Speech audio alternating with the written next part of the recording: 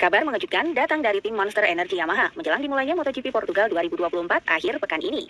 Tim Monster Energy Yamaha dikabarkan kembali mencoba mendekati Jorge Martin untuk membajaknya keluar dari keluarga Ducati. Kebetulan sekali Jorge Martin sendiri sudah secara tegas memastikan dirinya tidak akan mau bertahan di tim Pramac Racing usai MotoGP 2024 berakhir.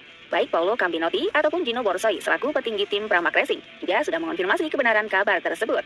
Martin sebenarnya tetap mengharapkan Ducati mempromosikannya ke tim utama sebagai rekan setim Peko Bagnaya.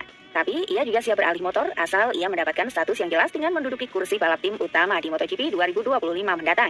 Hal itu dimanfaatkan tim Garputala yang kabarnya sudah ancang-ancang dengan menyiapkan anggaran fantastis demi mendapatkan runner-up MotoGP 2023 tersebut. Masalah motor mungkin masih berproses, namun urusan gaji menarik ini tentu bakalan menjadi pertimbangan kuat buat Martin untuk bisa merapat. Namun tetap saja pindah dari Ducati ke Yamaha adalah keputusan berani. Apalagi performa motor kedua pabrikan masih terpaut sangat jauh. Ducati tampaknya juga tak begitu ambil pusing jika Martin ngambek dan pergi ke pabrikan lain di MotoGP 2025.